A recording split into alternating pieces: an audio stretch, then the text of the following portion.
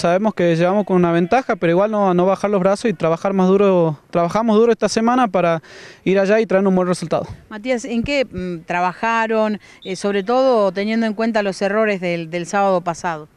Eh, creo que ellos en la velocidad físicamente estamos trabajando en la toma de marca y bueno, también en la posición de pelota, ¿no? Sabemos que si manejamos la pelota somos eh, contundentes a la hora de marcar la diferencia. El tema de las bajas también es importante. Eh, sí, bueno, como el Colo Aguirre, eh, Juan Alemán y ahora Palenque también están lesionados, así que bueno, tratar de lo que entran, dar lo mejor, digamos, para traer un buen resultado. No llega Palenque porque con la dupla que hacen con, con Valeriano se confía mucho en ellos. Eh, no, no, eh, estábamos viendo y bueno, eh, ojalá que llegue y si llega, bueno, que se sume al equipo, que sabemos que él hace la diferencia arriba. Ahora, también ha tenido en cuenta el nuevo técnico Corrales algunos jugadores que se han destacado el sábado anterior. ¿Puede mantener, eh, digamos, ese esquema?